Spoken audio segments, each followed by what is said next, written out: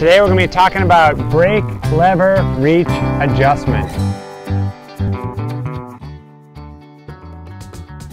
We love how many kids bikes are coming with dual handbrakes now and freewheels. It is definitely the way to go.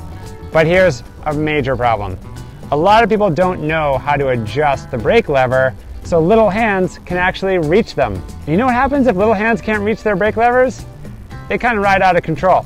Today I'm going to show you how to actually adjust those brake levers for proper reach for your child. And I'm going to be using a 2 millimeter Allen key.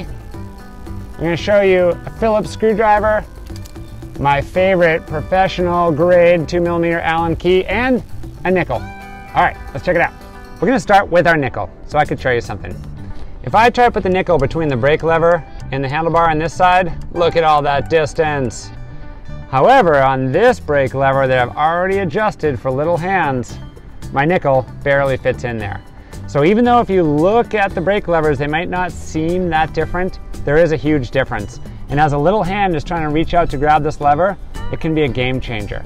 So let's talk about how we're gonna make that adjustment. Most of the time on most brake levers, you're gonna need a two millimeter Allen key. And the two millimeter Allen key fits right into this reach adjustment screw that's on the inside of most brake levers like this. Now sometimes you might have a Phillips head screwdriver and a Phillips head screw right there.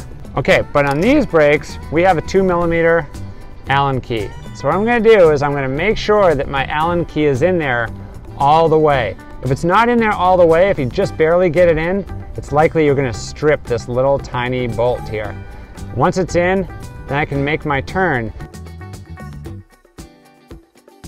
Now, you see this blue goo on there? That is Loctite. If you have a brand new bike with a bunch of blue Loctite on it, this, this screw, this bolt could be really sticky. So be careful not to strip it.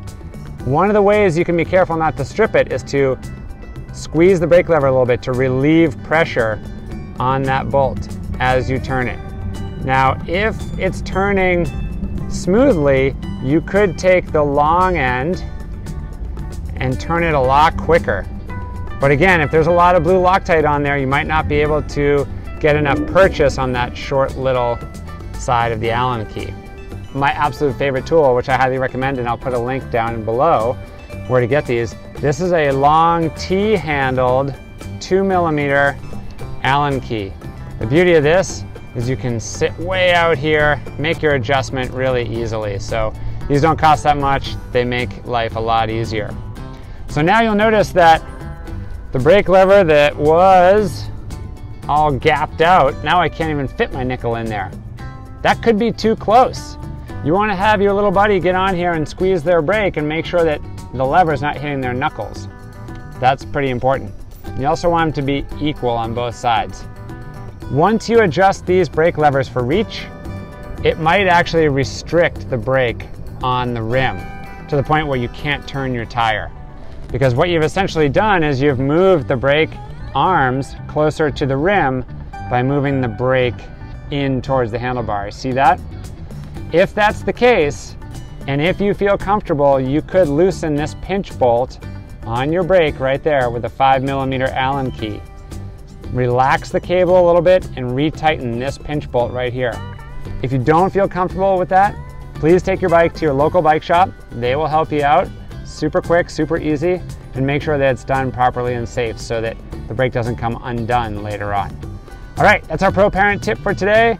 Head out there and ride with your kiddo with more comfortable brake levers and send us a video. We'd love to see it. Keep your thumbs up and the rubber side down.